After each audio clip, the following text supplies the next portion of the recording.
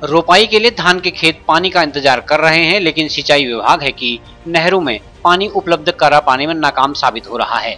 निकटवर्ती ग्राम घिरौली में नहर के क्षतिग्रस्त होने के बाद सिंचाई विभाग ने बजट के अभाव में नहर की मरम्मत करने से हाथ पीछे खींच लिए हैं। ग्रामीणों ने अब खुद ही नहर ठीक कर खेतों तक पानी पहुँचाने का निर्णय लिया है। बीते तीन दिन से घिरौली के ग्रामीण नहर से मलबा हटाने तथा खेतों तक पानी पहुँचाने के अभियान में जुटे हुए हैं।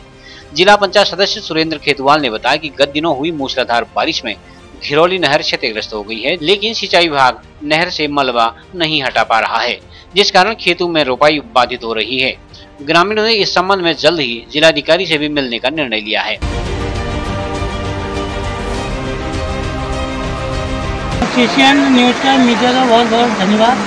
हमारे ग्राम सभा घिरौली में सिंचाई गुड़ कूदने के और जब में हमने कितने बार फ़ोन किया विभाग को, इसके वजह से ठेकेदार ने कोई एक्शन नहीं लिया।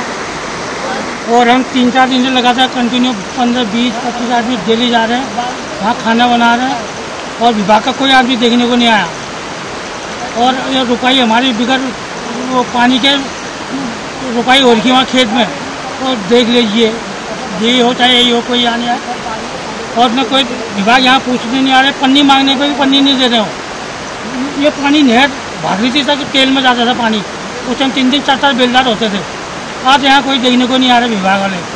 और यहाँ घिरौली में बीज निकाल रखा, अभी वो सूखा पड़ा तीन दिन से। एक डेढ़ महीने से पूरे गाँव वाले अपने संसाधनों से, अपने मेहनत से जो हमने रुपाई का जो बीज रखा था और जो, और भी जो खेती बाड़ी की थी फ़सल के लिए जो खेती बाड़ी हमारे सब्ज़ी के लिए किया था, उसके खुद लगा के डेढ़ दो महीने से पानी की व्यवस्था कर रहे थे, लेकिन पिछले दिनों, चार पाँच रोज़ पहले जो भीषण बाढ़ आई, उससे कुछ हेड और नहर को जो नुकसान हुआ है, उसके लिए पिछले पाँच छः दिन से 20 से 25 ग्रामीण लगातार रोज़ सुबह आठ बजे से दिन में खाना वहीं खाते हैं और शाम तक अपने मेहनत से पूरा उस नहर को चला रहे हैं। विभाग के द्वारा इस पर कहा जा रहा है कि अभी इसके लिए हमारे पास बजट नहीं है और ना ही इसके लिए कोई संसाधन या बजट की कोई हमारा व्यवस्था है और ना हमारे पास उस नहर के लिए कोई आदमी है।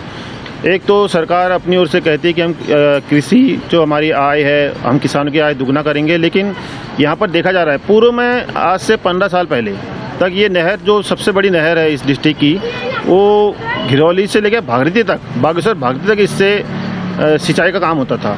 लेकिन ये जो आप पहला गाँव है उस नहर का, घिरौली और जोशी गाँव, उसी पूरे गाँव में नहीं आ पा रहा है पानी।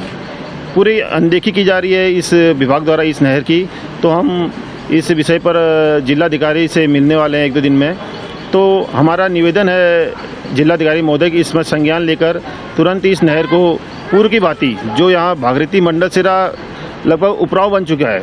जो तालाब ज़मीन थी, ये उपराव बनाने का जो विभाग का वो चल रहा है, इस पर कोई कार्रवाई करें।